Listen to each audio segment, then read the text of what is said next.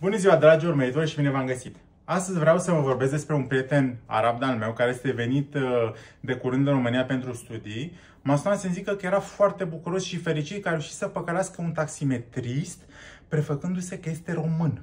Și zic, ia zic, cum ai făcut? Zic, zim și mie că sunt curios. Na, să văd și eu cum, cum a fost experiența ta, cum a decurs totul și zice, păi m-a urcat într-un taxiu și am spus, uh, salut, uh, vreau merge, uh, vreau mergi, uh, vreau, vreau, vreau merg uh, centru vechi. Se poate? Și zic, așa și? Te-a dus? Da, m-a dus. Și zic, păi și cât a costat? Păi m-a costat 250 de lei și arată de bucuros și zic, păi de unde te-a luat? Păi m-a luat de la Intercontinental până în centru vechi. Și zic, păi și ești mulțumit? Ce da? Zic, de ce? Data trecută m-a costat 400.